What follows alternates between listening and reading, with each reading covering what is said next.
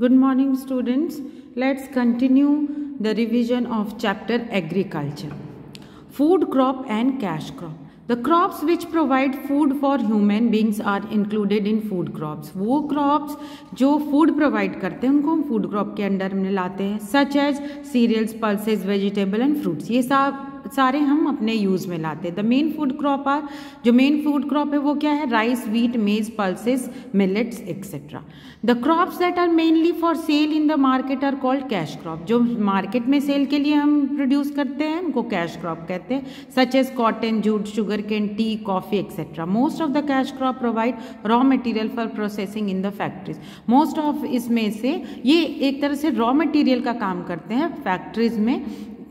Further process कर process करके कुछ दूसरी चीज़ बनाने के लिए।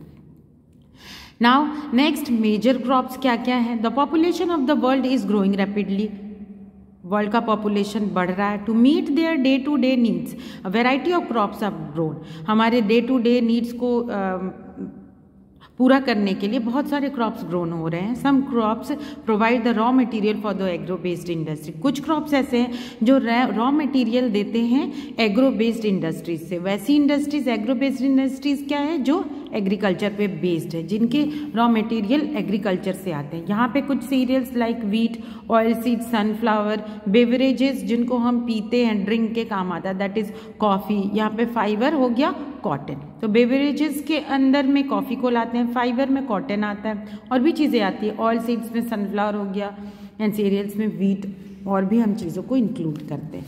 The crops can be classified under crops को हम किसमें क्लासीफाई कर सकते हैं? Cereals pulses oil seeds fibre beverages beverages में मैंने यहाँ पे कॉफ़ी पीछे दिखाया आपको और टी गिवन है। फाइबर्स में कॉटन जूट फ्लैक्स है। ऑयल सीड्स में मस्टर्ड ग्राउंडनट सनफ्लावर जिसके पिक्चर आपने देखे। पल्सेस में ग्राम उड़द मूंग अरहर एंड मसूर और भी बहुत सारे हैं। सीरियल्स में आ, rice wheat maize and millets है। नाउ अब इसमें से हम वन बाय वन देखेंगे जो इंपॉर्टेंट है। Rice is the staple diet मुख्य आहार है हमारा। Of more than half of the world population पूरे विश्व के आधे से अधिक पॉपुलेशन का ये मुख्य खाना है।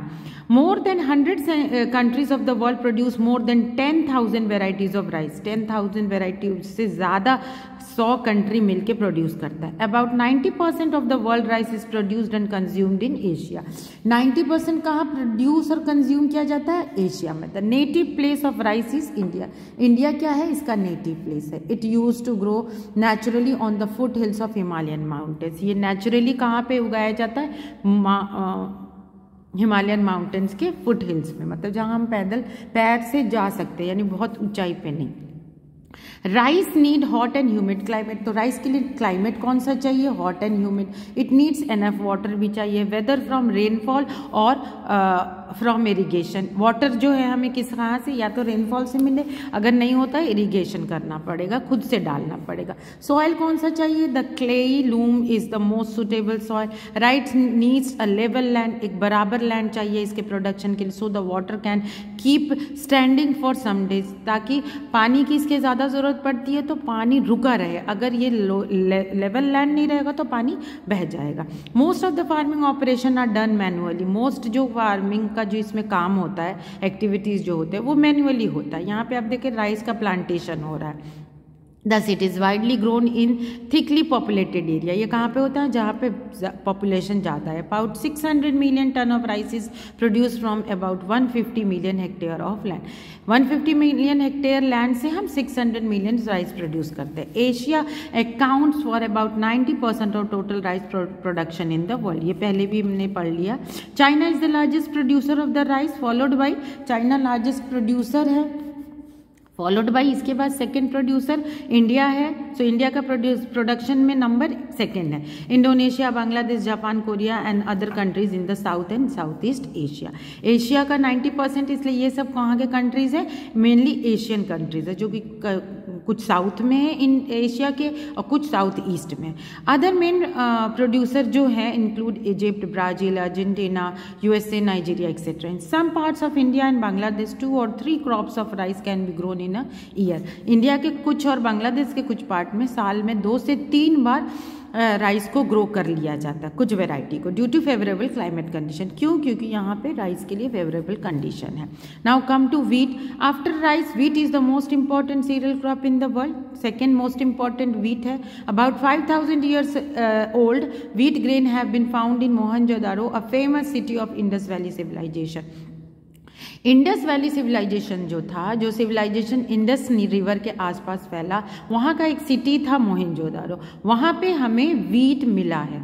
तो इससे पता चलता है कि 5000 थाउज़ेंड ईयर्स एगो भी वीट का प्रोडक्शन होता था। Wheat can be grown in various climatic condition बहुत सारे क्लाइमेटिक कंडीशन में होता है। टेम्परेचर क्या होना चाहिए? 10 degree Celsius is the best during the growing season जब वो बढ़ता रहे, उस टाइम पे 10 डिग्री सेल्सियस चाहिए।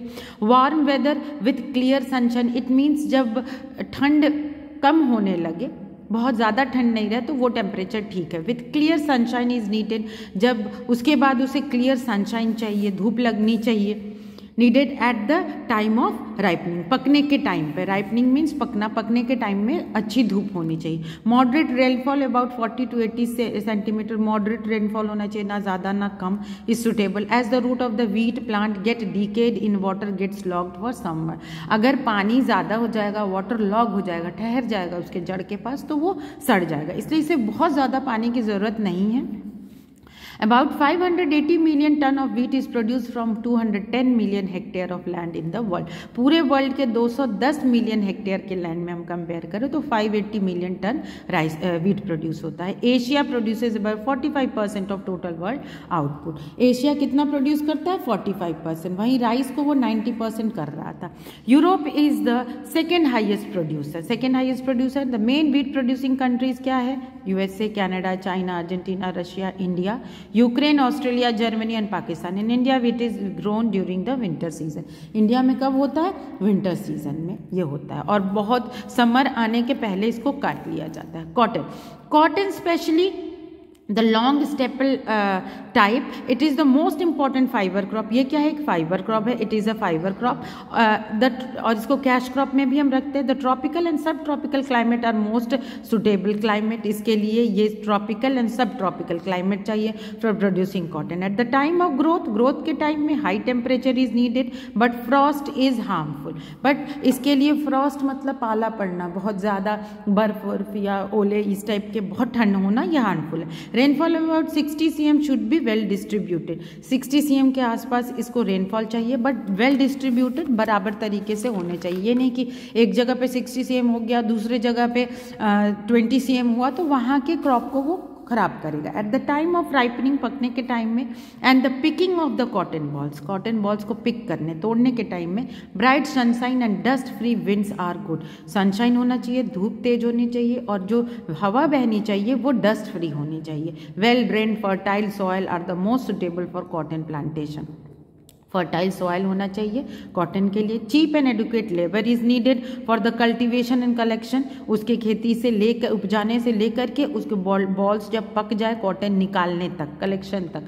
It grows well on the black and alluvial soil कौन से सॉइल में होता है? ब्लैक एंड एलुवियल सॉइल में। The main cotton producing countries क्या है? वर्ल्ड का China, USA, India, Pakistan, Brazil, Egypt and Mexico. तो इंडिया भी हमारा मेन प्रोड्यूसिंग कंट्री में आता है।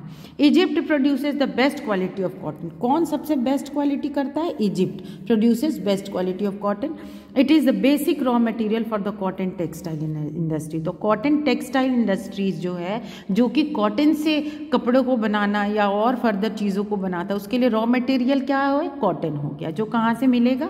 इस कॉटन से मिलेगा। Next is jute jute it is known as the golden fibre इसको हम गोल्डन फाइबर कहते हैं। Is the second most important fibre first fibre हो गया हमारा cotton second jute jute need hot and humid climate climate hot और humid होना चाहिए। Heavy rainfall will be well distributed throughout the year. It is a crop. The tropical region needs fertile alluvial soil. Soil alluvial होना चाहिए इसको black soil and alluvial soil इसको सिर्फ़ alluvial soil. Rainfall भी इसमें ठीक ठाक होने चाहिए Jute growing, harvesting and retting are mostly done by manual labour इसमें भी इसके लगाने काटने इसको रखने ये सारा काम मैनुअल लेबर्स करते हैं मशीन से नहीं होता दस it is the crop of thickly populated area इसलिए अगर लेबर्स की ज़्यादा ज़रूरत है तो कहाँ पे प्रोड्यूस होगा? जहाँ पे पॉपुलेशन ज़्यादा होता है। Main jute producing countries are main producing country में हमारा इंडिया है Bangladesh Thailand China Myanmar and parts of Brazil India के आसपास के ही कंट्रीज़ है ज़्यादा एंड देन ब्राज़ील है। ओके तो यहाँ तक आप समझ गए। ये दो जो हो गए कॉटन एंड जूट ये कैश क्रॉप में आ जाते हैं। नेक्स्ट हम tea coffee sugarcane and rubber को कवर करेंगे। चार हमारे रह रहे हैं तो क्रॉप्स के बारे में पढ़ने के लिए so we'll continue from tea in our next class